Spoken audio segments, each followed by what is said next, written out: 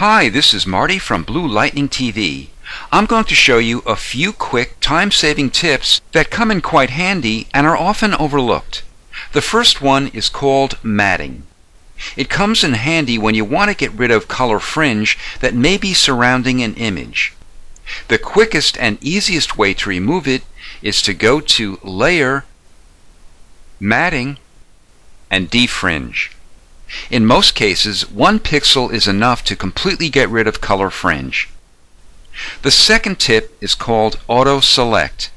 First, I'll make all the other layers visible in this document. If you have multiple objects on your screen that you want to move around individually, Auto Select is a real time saver. If Auto Select isn't checked, you have to click each time on the objects in the Layers panel in order to move them individually. However, once Auto Select is checked, all you have to do is click on the object itself to move it. You don't have to go back to the Layers panel to activate the object's respective layer. For the third tip, click on your Type tool and open your list of fonts. The size of the typeface samples are set at a default that makes them difficult to see. However, starting in CS6, if you go to Type and Font Preview Size, you have a choice from None all the way to Huge.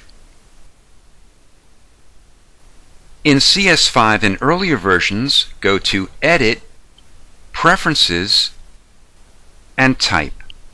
There you'll see Font Preview Size. Just open the list and choose the size you like.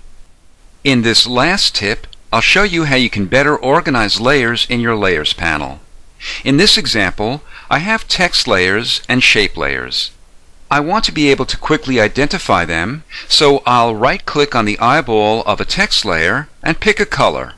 I'll pick red. Now the text layer can be identified as red. I'll repeat this for the other text layer. I'll click on the shape layers and pick another color for them. This comes in really handy when you have a Photoshop file that has dozens of layers. This is Marty from Blue Lightning TV. Thanks for watching.